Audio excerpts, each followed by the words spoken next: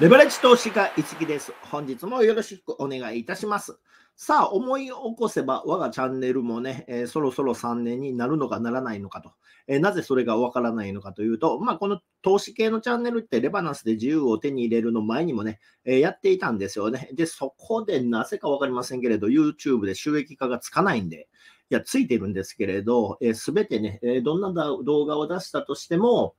えー黄色いね、マークがついて、収益化にならないということで、このチャンネルを作り直してますんで、まあ、投資系のチャンネルとしては、このチャンネルプラス、この前身のチャンネルをね、え入れますと、まあ、3年ぐらいになってると。まあ、その中で、え暴落もね、え見てきまして、まあ、いろいろな人間ドラマもあったということで、まあ、そのあたりも含めてね、え今日はお話できればいいかなというふうに考えております。えお話のテーマは、えファングプラス長期投資で高値付近で喜んで買うインフルエンサーと、えー情弱すぎる株に〇〇つきもの知らんなということで、えー今日はこのネタでね、えー皆さんと、えワイワイガヤガヤ楽しんでいきたいと思います。それでは、スタートです。さあ、最近ね、え投資にお金を回しすぎて、小遣いが少なくなってきている。そろそろ新型のカメラが出る。それが欲しいな。どうしよう。ちょっとお金が足らない。あ、モッピーがあるじゃないかということで、なんとね、えモッピーで貯めていたポイントっていうのはね、現金に変わるんですよね。これで好きなサイトで購入することができるということになります。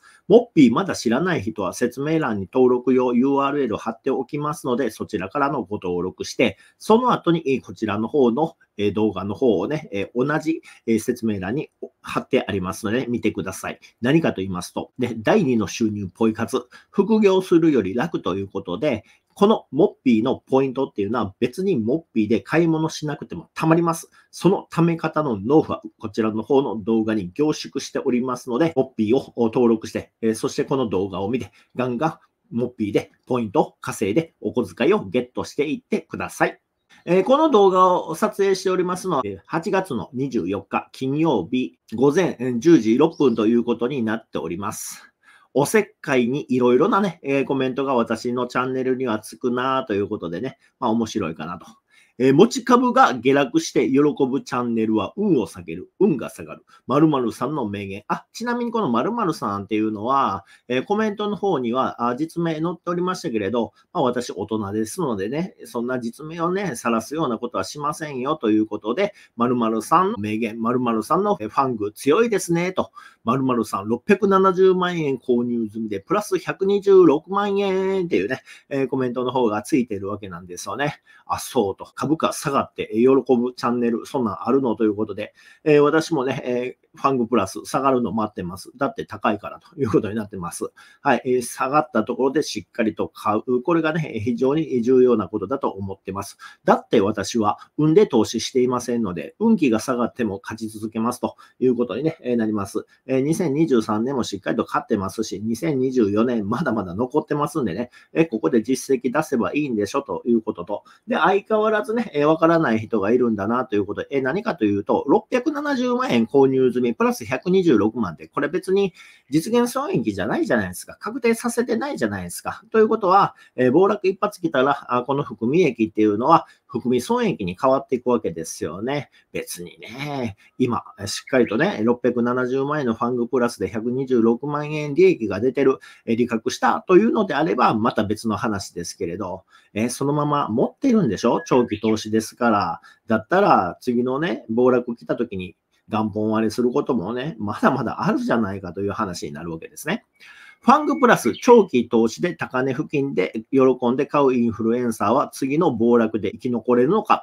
ということでね。まあ私は2022年の暴落の時も、えーしっかりと YouTube え動画の方をね、えー作り続けておりました。えそして2022年のね、え暴落、そこで付近になったとしても、スポット購入日和です。スポット購入日和ですと、レバナスナスダック103倍ブル、えーこちらの方を言い続けて、そして SOXL が、えー底根付近になった時に、ここで私は買いますというね、えー情報を発信していたんですよね。その暴落の来る前ですよね。えー暴落前に息巻いていたインフルエンサーたちはほとんど全滅ということでね、えー2022年前に、まあ、YouTube でね、活躍されていた人たちの大多数はね、この暴落で生き残れなかったと。いや、投資が失敗したとか成功したじゃなくて、YouTube チャンネルの更新がなくなったということでしたね。生き残ったインフルエンサーさんは、まあ、大手のみだったと。えもちろん私のチャンネルも2022年の暴落生き残り組の一つのチャンネルであるということですよね。ですので、このえー、暴落が起こって、人間のね、様々な人間ドラマを見せてもらったということになってます。えー、暴落が来て株マイナス食らったら働いてやり直すと強気に CWEB 買い続けて暴落食らったインフルエンサーは未だに働いてるんでしょうね。チャンネル更新ありませんと。そしてレバナス、ソクル、最高って言っていた人たちが2021年12月あたりから2022年の1月あたりで仕込んでいた人たちですね。多くの人が損切り、その後、なんとアンチにジョブチェンジということにね、えー、なっておりますので、まあマジで笑かしてくれるわと。今までレバナス最高、ソクル最高って言ってね、えらい高いところ、レバナスだったら4万円以上、ソクルだったらね、68ドルから70ドル以上のところでね、購入していた人たちが、その後、暴落が食らったら、手のひら返しというね、えー、ことになってきたと。いやー、さすがにね、え、人間ドラマ面白いなということに、ね、なるわけですよ。知らない人が多すぎるので、私がね、株式投資においての心理を2つ教えてあげます。これ特別ですよ。内緒ですよ。今日だけ大盤振る舞いということで、1、